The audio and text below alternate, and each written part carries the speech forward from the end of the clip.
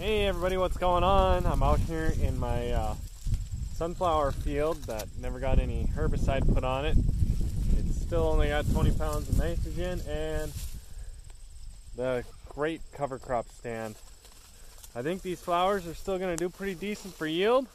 I'm just out here trying to figure out about when harvesting will be. Today is December, September 17th. And I figure it'll probably be at least two, three, maybe four weeks Yeah, Probably closer to three, but as you can tell with this flower. That one's pretty green. Some of them look like this though. They're pretty dead, they're pretty ripe. But yeah, this cover crop out here, guys, is just amazing.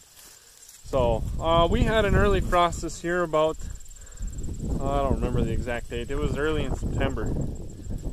And it didn't hardly touch nothing out here the way it looks. So. Yeah, uh, I guess that is just some vetch there again. I thought maybe that was some sun hemp. Oh yeah, maybe that is it. Nope, that's uh, vetch.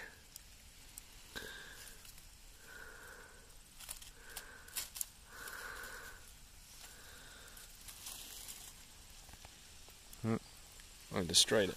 Oh well. Uh, somebody told me to watch the harvestability of the sunflowers because I have hairy vetch out here, and this is the reason why. As I crawl up the stalk like this. I'm not 100% sure what that's going to do in the combine. I'm hoping that it'll go right through though, be just fine. I don't think it'll mess with the header too much, at least my header. Um, yeah, I mean, look at this cover though, guys. This is awesome. And we still got the native bird, mosquito out here. I should have brought a shovel with me out here and I didn't, but there's a turnip. Clover, hairy vetch, grass, annual ryegrass. I'm pretty sure there's some cereal rye in here.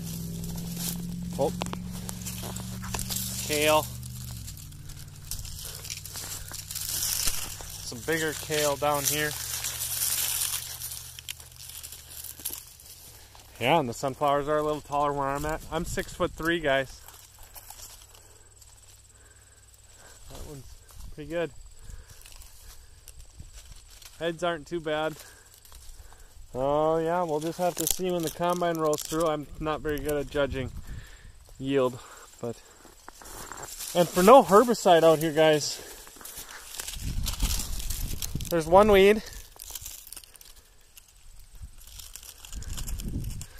Well, I thought that was a weed at first, but I think that's a, just a buckwheat that died.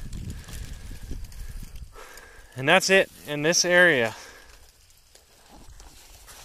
One weed and, well, at least a six foot span, probably more like a 10 foot span. I'll take that, guys. This is, that's what happens when you get diversity out here. You won't need the herbicide because the the diversity of the cover crops, Mother Nature doesn't have to try and fill it in.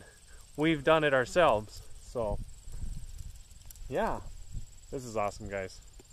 I'll uh, keep you updated more with harvest information. Uh, I'm going to be combining millet first. I did take a sample uh, a day or two ago. It was 17.2% moisture yet. It weighed 55.2 pounds per bushel. I don't, it's not going to yield very good. That's not a very good field. I'd like to get a combine here pretty soon though and get some cereal rye out on that because it's going in beans next year. So, yeah. Um, I think that's it for today, guys. I'll uh, catch you later.